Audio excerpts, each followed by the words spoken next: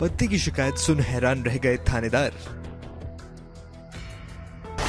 पति ने रूठी पत्नी को ऐसे मनाया कि वीडियो हो गया वायरल। शख्स ने गाया रोमांटिक गाना, क्यों थानेदार बन गए लव गुरु? सोशल मीडिया पर क्यों वायरल हुए पति पत्नी और थानेदार? दहलीज पर मेरे दिल की जो रखे उन्होंने कलम ये लाइन और इसे गाने वाला ये शख्स इन दोनों सोशल मीडिया पर तहलका मचा रहा है। अब इन्हें देखकर धोखा मत खाइए, साहब। वीडियो में दिख रहे ये दोनों कोई प्रेमी या प्रेमिका नहीं, बल्कि पति और उसकी रूठी पत्नी है। जिसे मनाने के लिए उसका पति थाने के अंदर ही ये रोमांटिक गाना गा रहा है। हैरानी की बात यह है कि वीडियो महज गाने की वजह से वायरल नहीं हो रहा, बल्कि इस गाने के पीछे जो वजह है, उसके कारण भी ये मामला काफ़ी सुर्खियाँ बटोर रहा है।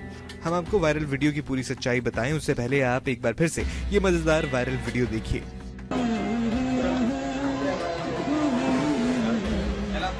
दहलीज पे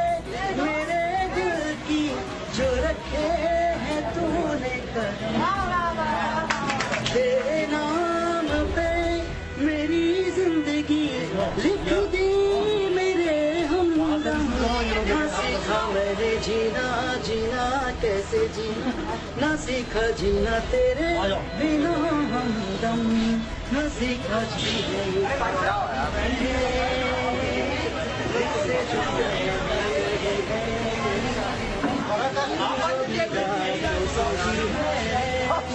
दुनिया मेरी हमदम ओ आसमान ज़मीन को मेरी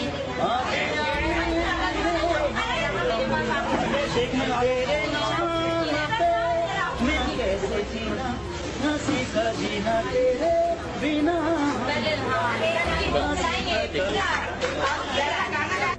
बताया जा रहा है कि एक महिला अपने पति को गिरफ़्तार करवाने पुलिस के पास पहुँची थी। वजह सुनेंगे तो यकीनन आप भी हैरान रह जाएँगे। महिला ने शिकायत करते हुए कहा कि उसका पति कभी भी उसके लिए गाना नहीं गाता। जी हाँ महिला को दुख था कि उसके पति ने आज तक कभी भी उसके लिए कोई गाना नहीं गाया।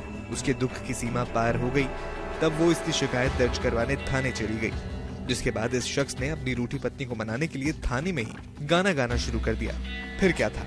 पति को गाता देख पत्नी के आँसू नहीं रुके, जिसका वीडियो अब सोशल मीडिया पर जमकर वायरल हो रहा है। बता दें कि 30 सेकंड का ये वीडियो यूपी के झांसी का बताया जा रहा है, जहाँ पति अपनी रूठी पत्नी को फिल्मी स्टाइल में मना रहा है, जिसे देख सोशल मीडिया पर लोग इस शख्स की तारीफ़ करते नहीं थक रहे। दहलीज पे मेरे दिल की जो रखे है तूने कदम। तेरे नाम पे मेरी ज़िंदगी लिख दी मेरे हमदम। ना सीखा मैंने जीना जीना कैसे जीना? ना सीखा जीना तेरे बिना हमदम। ना सीखा जीना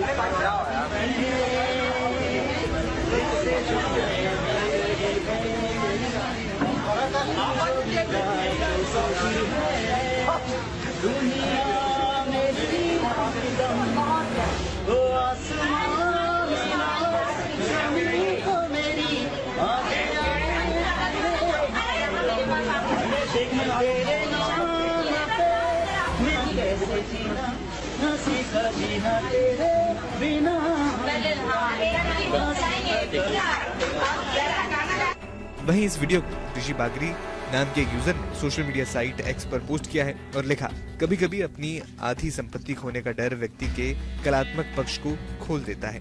वीडियो को अब तक चार लाख से ज़्यादा लोगों ने देख लिया है। इतना ही नहीं, इस वीडियो को लोग जमकर शेयर भी कर रहे हैं और मज़ेदार प्रतिक्रिया भी दे रहे हैं। वीडियो पर कमेंट करते हुए एक शख्स का कहना था, बेचारा क्या क्या करना पड़ता है? वहीं किसी ने इस शख्स को समझदार पति बताया। ऐसे में आपका इस वीडियो पर क्या कहना है? हमें कमेंट बॉक्स में ज़रूर बताएँ।